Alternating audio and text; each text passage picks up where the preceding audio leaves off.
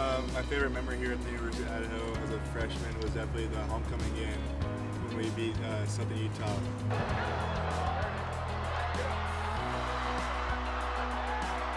Favorite experience here at the University of Idaho was uh, when the girls basketball team played in, against Denver in the WNIT and I was able to go and it was a sold out crowd. The atmosphere was electric and it just made me proud to be a Vandal.